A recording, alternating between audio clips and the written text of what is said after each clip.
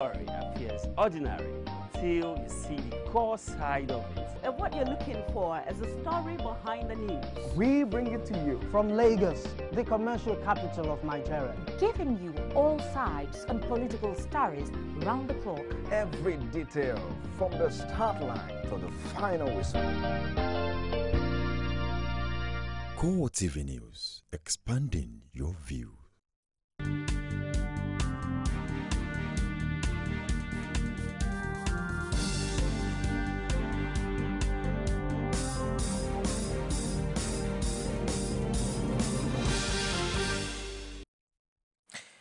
Thank you for joining us this hour on Core TV News. I am Nifemi Oguntoye, and here are the stories we're tracking this hour.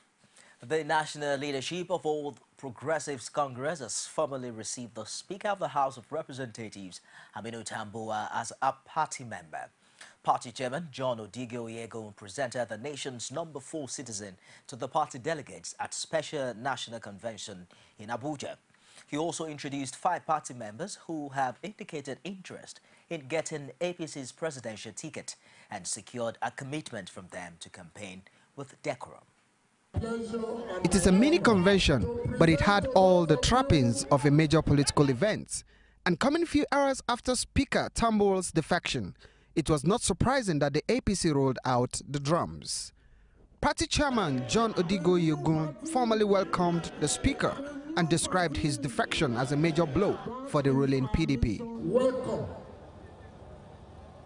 The Right Honorable Aminu Tambuwal, the number four citizen of this great nation.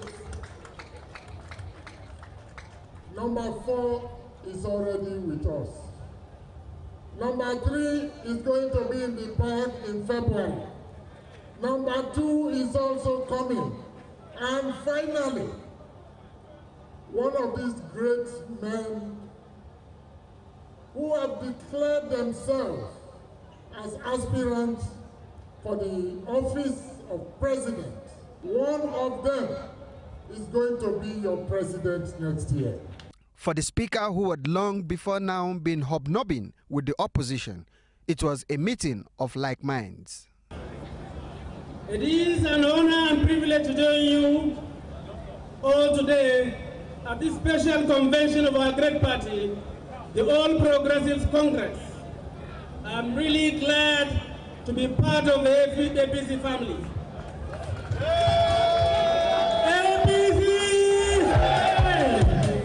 The party also formally introduced individuals jostling for the right to fly the party's flag next year.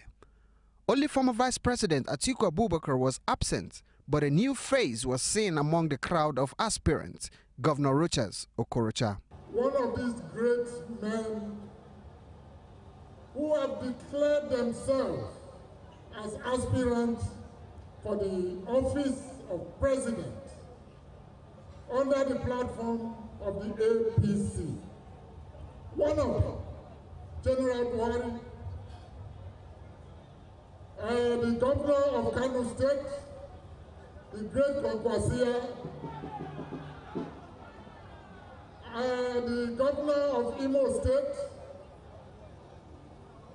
our great friend Nda Azaya, and of course, the former vice president of this great nation, Alhaji Atiku Abubakar GCOA. One of these people, watch them closely, I'm going to call them on the stage later. One of them is going to be your president next year. Our intention, God willing, is to secure this country and efficiently manage it. So God help us. Let me say to all of you, my brothers and sisters in this great party, that President Jonathan is not a problem of APC. Let me say to you, needless using any words that is uncomplimentary against him. The only problem of APC is the ability to produce a votable, acceptable candidate that can defeat PDP in 2015. The mini convention was called for the party to amend its constitution and when the affected clauses were tabled before delegates, the proposals scaled through unanimously. Your Excellencies, ladies and gentlemen, I, Honorable Abike Dabiri Erewa, from Ward E, Ikorodu local government area of Lagos State, the state of excellence, hereby seconds the motion as moved by Senator Lawal Shuaibu. I so second. At the end, party leaders expressed hope that the elective convention slated for later in the year will also be as successful. The APC's mini convention was however not without any incident as two sets of delegates from Abia State engaged each other in a free-for-all. Plastic chairs and iron rods were used in the course of the clash just as the event began.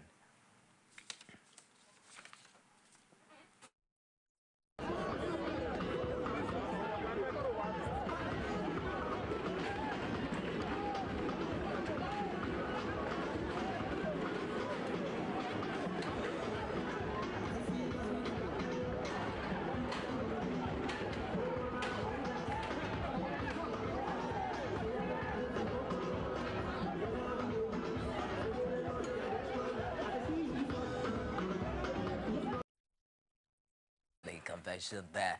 Away from there, President Goodluck Jonathan is back uh, as to back up his interest in a second term in office by collecting the nomination fund of the People's Democratic Party on Thursday. Presidential spokesman Reuben Abati disclosed this at a news conference in Abuja. He also reviewed PDP governors, transformation ambassadors of Nigeria, and a number of individuals and groups contributed over 98 million naira to enable Jonathan pay the required 22 million naira for the farm. Groups and communities who have sent donations and made pledges to assist him to pay the required 22 million naira for the PDP presidential nomination fee and expression of interest form. He acknowledges and accepts with immense gratitude the following donations and pledges that he has received from a broad spectrum of Nigerians. Mr. Kennedy Ikenna Odueme, 5,000 naira. Mr. Ezemagu Sunday Nnamdi, 10,000 naira. PDP governors, 22 million naira. Gombe Youth Vanguard for PDP, 500,000 naira. Yamaltu Deba Goodluck Support Group, 200,000 naira. Coalition of Gombe Support Groups for Goodluck Ebele Jonathan, 2 million naira. Hina Youth Coalition for good luck, 500,000 naira. Nigerian Women Pray for Jonathan, 1 million naira. National Association of Widows, 100,000 naira. National Council of Women Societies, 500,000 naira. Female members of the PDP Board of Trustees, 500,000 naira. Joint Association of Persons with Disabilities, 100,000 naira.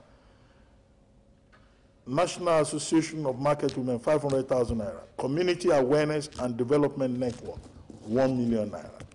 He assures the donors that he will continue to do his utmost best at all times to fully justify the great confidence they have placed in his leadership. Spokesman Reuben Abati. A coalition of 13 civil groups have presented governorship farm of the People's Democratic Party to Adamawa State Governor Bala James Ngilari. Speaking on behalf of the groups, a former secretary to the state government, Moses Ngbale, says the people of the state contributed the money for the farms to drive the campaign of the governor ahead of the 2015 governorship election. More than 13 different groups contributed well over 150 million naira, out of which we took 11 million to buy this. Contribution was, contributions will come, will contest this thing without, you will contest without us reverting to you for anything by the grace of God. We want to wish you well, and we want to wish you the best of luck. I give you this thing with the prayer that God, in His infinite mercies, will give you favor and support all the people of Adamawa. Amen.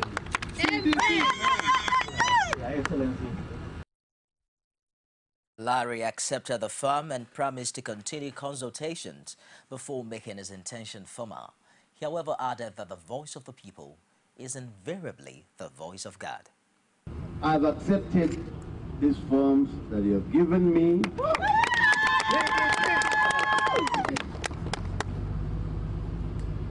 I'm praying, I'm consulting. Basically, the voice of the people is the voice of God. Yes. The facts you have enumerated are absolutely correct in terms of the fact that I was going for the senatorial election. But having listened to you, you know, this is not about me, about anybody. It's about the good people of Adamawa. Give me time, I'll consult prayerfully, help me pray, so that at the end of it all, it is not my decision, it is not anybody's decision, but the collective decision of the people of Adamawa. You recall that Ngilari had earlier picked a nomination firm for the senatorial seat of Adamawa Senatorial Zone. Meanwhile, Speaker Adamawa House of Assembly Ahmadu Fintiri and seven other governorship aspirants in the state have ganged up against Governor James Ngilari ahead of the 2015 governorship election. They said the governor must not be allowed to contest the governorship primary of the party in the state. The eight aspirants on Wednesday stormed the national secretariat of the party, insisting that the zoning arrangement earlier reached with them that the party must be kept. Apart from Fintiri, those who also visited the party to register their grievances were a former political aide to President Goodluck Jonathan Ahmed Gulak, son of a former PDP national chairman Awwal Tukur, and former Minister of Health Idi Hong. Others are James Barker, Aliyu Kama, Marcus Gundiri, and Abubakar Geria. A, a former chairman of the Economic and Financial Crimes Commission, Nuhu Ribadu, who was part of the team with whom the agreement was made, however, was not present. It will be recalled that the party and the governorship aspirants who voluntarily withdrew from the PDP primaries last September had agreed for the governorship position to be zoned to Adamawa Central District. In Adamawa politics, of all the senatorial zones, North, South and Central, it is only the Central that is yet to produce a governor. The agitation to bring more women into mainstream politics and decision-making in Nigeria was again brought to the fore at a program with the theme Women's Participation in Governance ahead the 2015 general elections. The event was organized in Lagos by the Women Arise for Change initiative. Olajumoke Olatunji has more. Women participation in Nigerian politics at the grassroots has become an issue of great concern following belief in some quarters that Nigerian women have been relegated politically to the background. There are documented evidence around the world over the importance of women population and their contributions to societal development. According to the 1991 census in Nigeria, women account for about 50% of the population, but they are underdeveloped and underrepresented in politics. Factors identified in extant literature as essential determinants of women participation include social and political relationships in a given society, male domination, political parties and culture of formal political structures. It is against this background that the Women Arise for Change initiative organized the forum to push for more women participation in governance and decision making, especially as it counts down to the 2015 general elections gather momentum.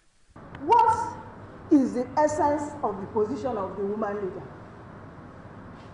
Do you have a budget in your political party? How many women leaders here have a budget?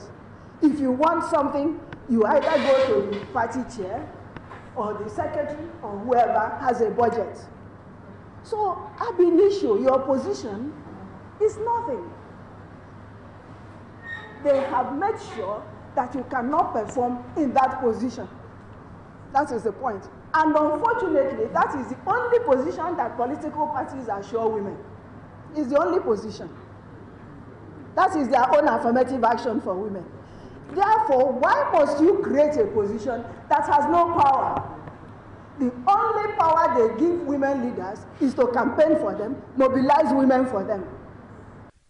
President of Women Arise for Change Initiative, Joe Okei-Odumakin, calls for an equal representation of women as the 2015 elections draw closer and urged all women not to be deceived by the antics of the politicians. It's a gradual thing that will gather momentum. And in gathering such momentum, women themselves are the ones who should take the bold and viable, and viable step in ensuring that they can also com compare, contest, interact, and make more meaningful impact in terms of politics. It is generally believed that women suffer mishap due to lack of representation and imbalances in the leadership scheme, while the rest of the world has been progressive in women's participation, especially in governance. Nigeria is still lagging behind, and the rest of the world is still waiting to see if 2015 will be a watershed year that will usher in a new Nigeria. Olajumoke Olatunji, TV News, Lagos. The states has promised to assist Nigeria achieve a peaceful, transparent and acceptable election in 2015. U.S. Deputy Assistant Secretary for African Affairs Robert Jackson disclosed this when he paid a courtesy call on the chairman of the Independent National Electoral Commission, Atahiru Jega. Responding to the pledge for assistance, the INEC chairman assured the Americans of free and credible elections next. Transparent and credible elections here in Nigeria. Uh, we are committed to working uh, with the commission, with the political parties, uh, with government, civil society, with all the actors involved in the election process to assist Nigeria to have uh, elections that build upon the progress that we've seen uh, uh, in previous years. And we look forward to having an exchange about some of the uh, issues that you are facing uh, over the next uh, months until February. We know that you have a very busy schedule, um, but uh, the fact that you have included us in that busy schedule really uh, uh, encourages us and makes, makes us greatly appreciative of your concern and understanding and encouragement. You're on to Core TV News live from Lagos. I'll be back after now with more stories. Don't go away. There is an Ebola virus epidemic in some West African countries. The Nigerian government wants you to be aware and watch out against the spread of Ebola in your community. Help keep our country safe and watch out for severe cases of fever, headaches, diarrhea, chest and abdominal pain, sore throat, cough, red eyes, and bleeding from the eyes, ears, and nose especially when these symptoms are found in persons coming into Nigeria from other West African countries. Protect yourself. Wash your hands regularly with soap and running water or use a hand sanitizer.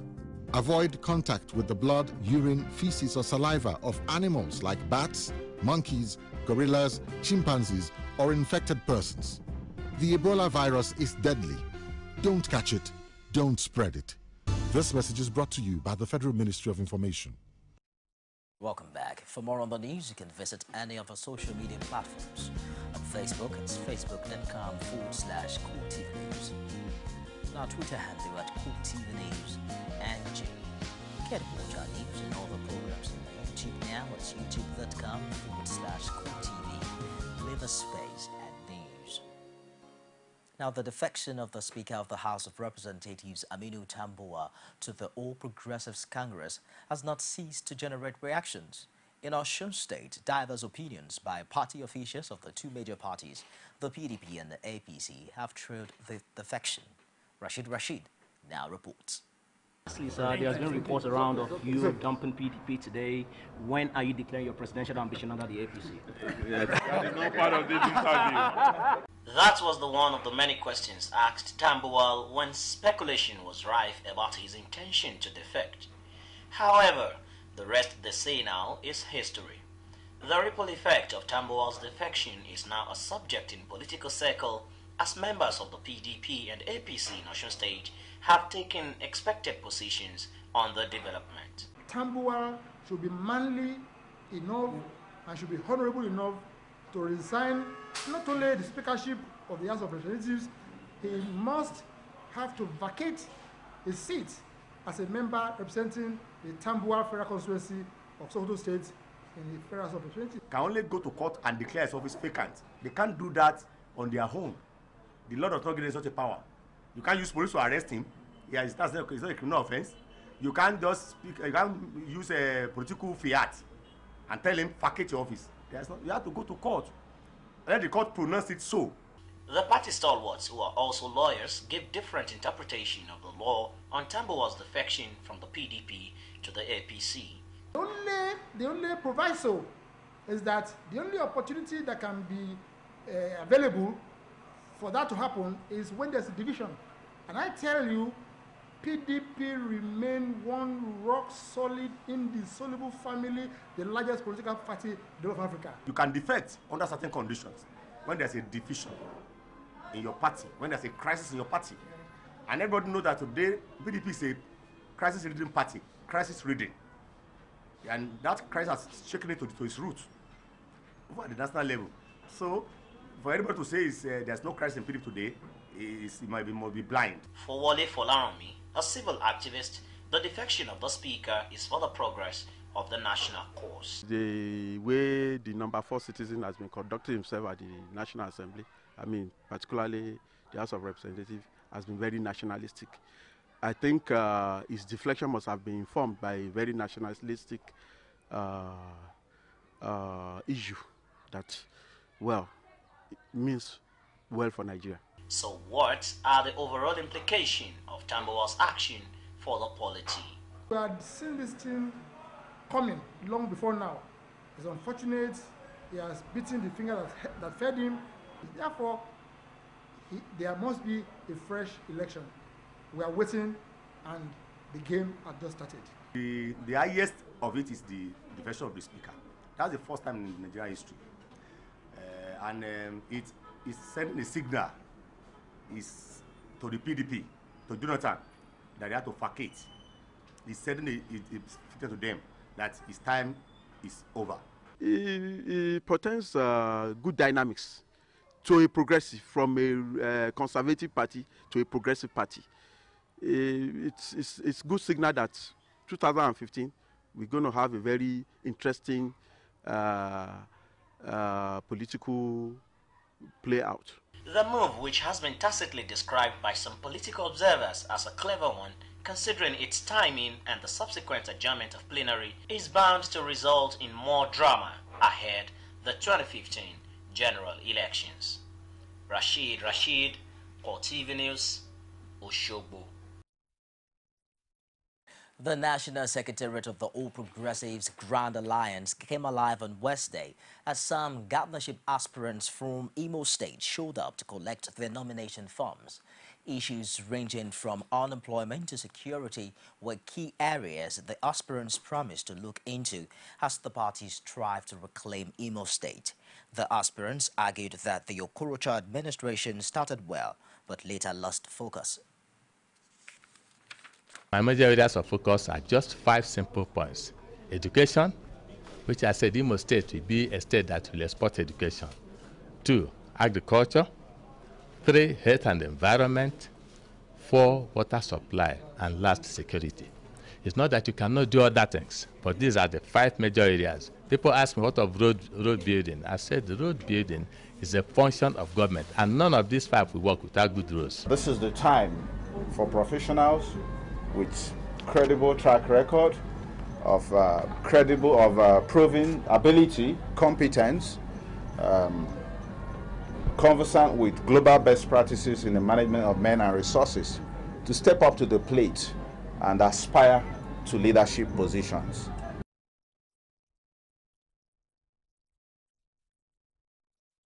And that wraps it this hour on Core TV News. Do join us again at the top of the hour for more stories. I'm Nifemi Oguntoye. Thanks for being there.